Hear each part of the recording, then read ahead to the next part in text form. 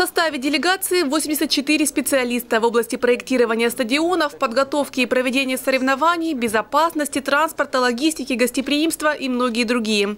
Операционный визит ФИФА в Россию начался еще 1 сентября. Эксперты уже успели оценить готовность Санкт-Петербурга и Казани, а теперь добрались и до Сочи. Конечно, опыт Олимпиады поможет в проведении Кубка Конфедерации. Он поможет в проведении чемпионата мира, и мы надеемся, что в наследии здесь, после 2018 года, также мы оставим высокопрофессиональный, очень качественный футбол. Напомним, это уже второй визит комиссии ФИФА в Сочи. В октябре прошлого года она уже оценивала ход строительства арен. По признанию экспертов, то, что они видели год назад и сегодня, сильно отличается. По их мнению, Фишт стал действительно похож на футбол футбольный стадион. Эксперты ФИФА в течение двух часов смотрели э, реконструкцию стадиона, и нам очень приятно, что, собственно говоря, замечаний практически нет, и эксперты ФИФА убедились в том, что э, реконструкцией занимается профессиональная строительная компания, которая, безусловно, э, в отведенное и указанное время, а это конкретно июнь 2016 года, сдаст стадион для проведения соревнований. Как подчеркнули эксперты, реконструкцию стадиона необходимо провести не только вовремя, но и с соблюдением всех требований ФИФА. Проверка будет тщательной.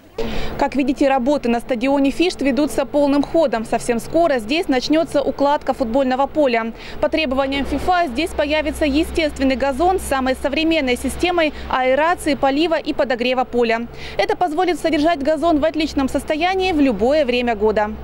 Однако свой второй визит в Сочи комиссия ФИФА посвятила в меньшей степени проверке готовности арен. В этот раз экспертов больше интересовала организация работы на стадионах во время проведения мероприятий. Задачей э, визита это э, проанализировать еще раз стадион, э, пространство вокруг стадиона, договориться о разделении всех, э, всех пространств, разделении потоков, чтобы избежать пересечения потоков, сразу, сразу определить, кто, кто за что отвечает, кто как будет использовать стадион во время Кубка Конфедерации и Чемпионата мира. Особое внимание комиссия уделила тому, насколько готова к проведению соревнований такого уровня городская инфраструктура. Сегодня как раз нашим коллегам представляли городскую инфраструктуру, это и фонд размещения, где предполагается размещение клиентских групп и, соответственно, болельщиков.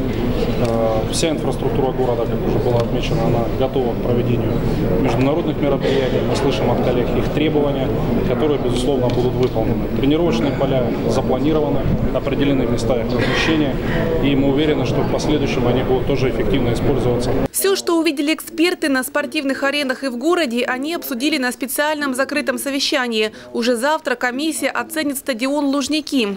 Напомним, чемпионат мира по футболу пройдет в России летом 2018 -го. Годом ранее в Москве, Санкт-Петербурге, Казани и Сочи пройдут матчи Кубка Конфедерации. Галина Захарова, Демид Даниловский, телекомпания ФКТ.